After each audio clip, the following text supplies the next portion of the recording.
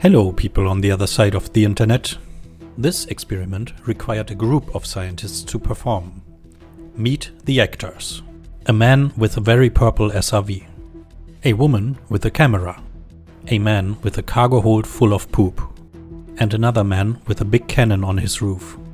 It all started with a few second video clip of a SRV jumping against the shield of a spaceship and bouncing off it.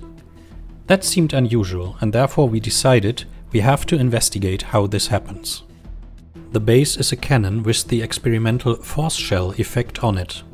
This usually just pushes away a target you hit in addition to the damage that is caused by being hit by a cannonball. The often praised realistic physics engine of Elite Dangerous gets into a bit of trouble when you apply such a shot to a landed spaceship. For reasons that are totally understandable for gameplay, it refuses to move the ship. On the other hand, the engine wants to be realistic enough to not just dump the energy. First law of thermodynamics, I guess. So now the model has issues. Where should it put this energy?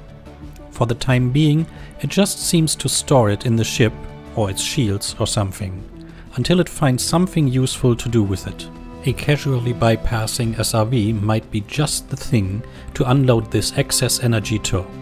So be careful with parked spaceships, you SRV drivers. Your habit of jumping onto those ships will never be the same again once enough people know about this effect.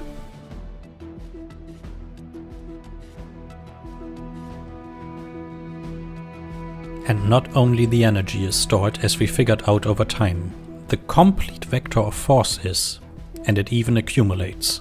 So when you land the ship on the edge of a cliff, you can apply the shots from below. And if you put in enough shots, well, goodbye Alec.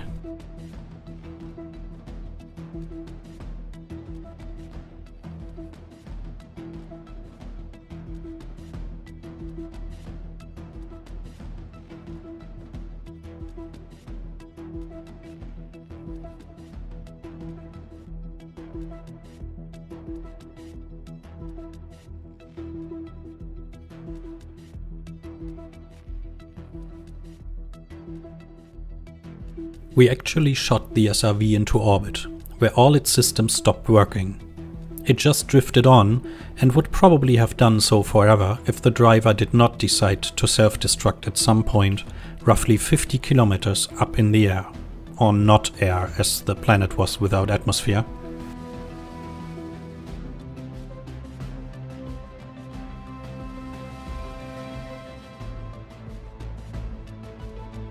But this transfer of force shell energy is not only possible to SRVs.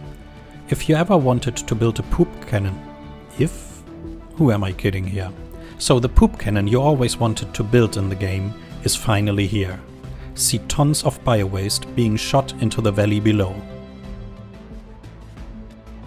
And that's it for today. If you like the science the Boon Labs are doing, thumb up this video Subscribe to the channel and do not click the bell icon.